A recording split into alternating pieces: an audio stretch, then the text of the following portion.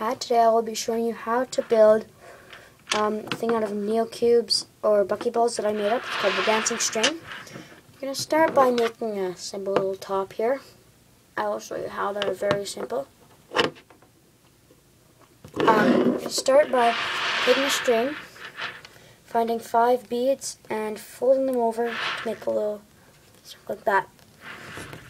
We're going to continue by wrapping it, and it's going to kind of start to want to bowl itself. That's good, you want that.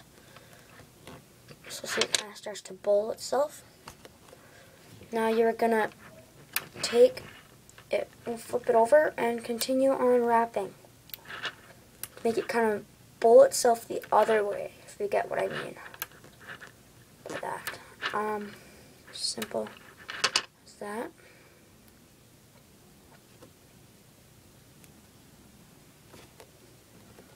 So kind of got two layers there. I'm going to flip it over again. Continue on wrapping like that.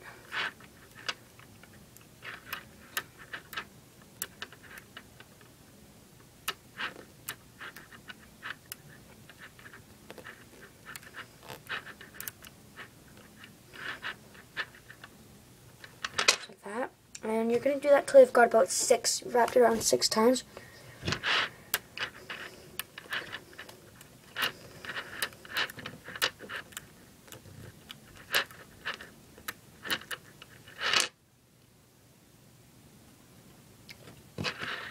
One more.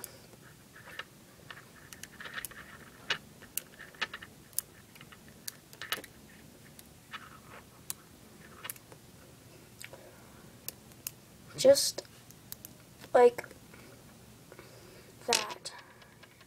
Now, you're going to kind of want to find the spot where it kind of started to, the first one, and find the spot that's kind of like that, if you can see the inside one and you're going to take uh, one bead and kind of pop it in the center there.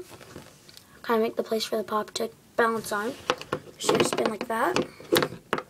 Now I'm going to take another string and I'm going to just kind of balance it over top to kind of make it dance like that.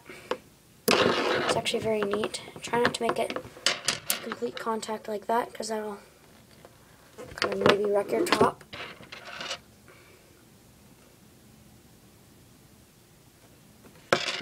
That's pretty neat. And that's the end of my video. Bye.